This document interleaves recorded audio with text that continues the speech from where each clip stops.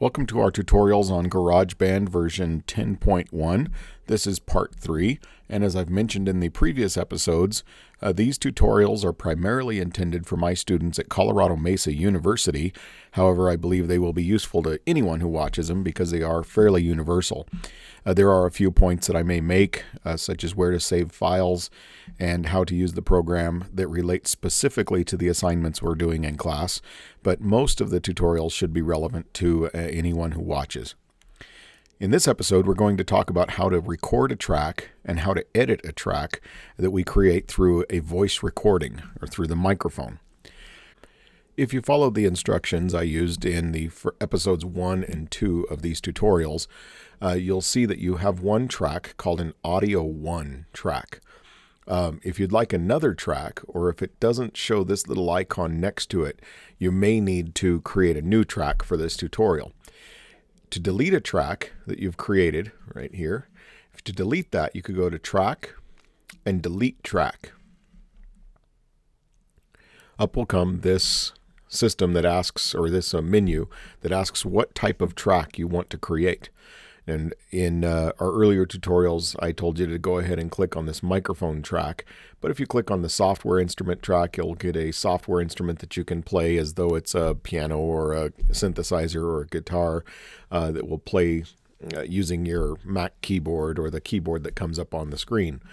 Uh, you can also hook an instrument to GarageBand and play like an electric guitar or a MIDI uh, type instrument or you can use the drum pads that are built in to create a beat uh, or rhythm or loop for your uh, track as well. For our tutorials, we're going to be using the microphone track, and you click Create. And that, that gets us to where we started this tutorial. You now have a track called Audio 1. In order to keep these all separate, and especially if you're new to GarageBand, it may be a good idea to rename this file to voice track or introduction, something like that, so that you can keep it separate from the other tracks we'll be using.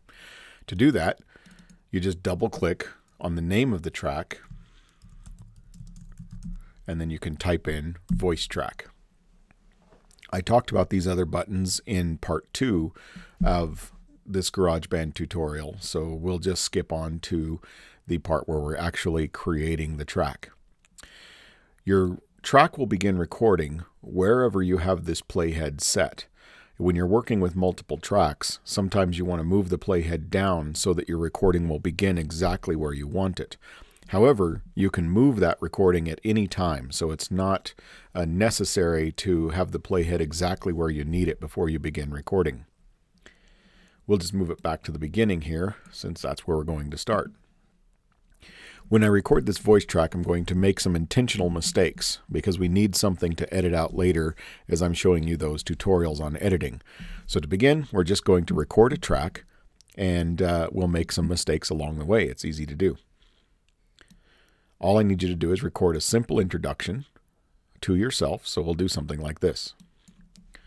Hi, this is Adam Cochran. I'm an instructor of Colorado. Ma yep, messed up. My name's Adam Cochran. Uh, uh, I'm an instructor of mass communication at Colorado at Colorado Mesa University. Thank you very much for joining this program.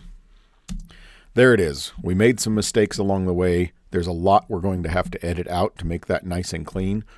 Um, of course, sometimes it's easier to just go back and undo or, or re-record another voice track. But uh, the purpose of this is to show you how to edit. So that's where we're at. We now have this voice track recorded. And as I mentioned before, if you click and hold on the title bar there at the top, you can move it back and forth and place that voice track anywhere you'd like. And so when the playhead starts back at zero, uh, we can hit play right here. Or I prefer to hit the space bar to play and stop. So if you hit the space bar, it begins playing. I'll move the mouse off so you can see that happening.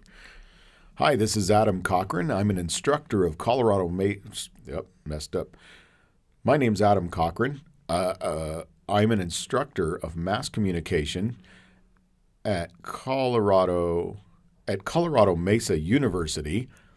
Thank you very much for joining this program. There it is. I have a very terrible introduction there. Uh, it definitely needs edited. So to get into editing and how that works, go ahead and skip ahead. This is a, uh, very short tutorial. Skip to part four, and we'll talk about how to edit a track.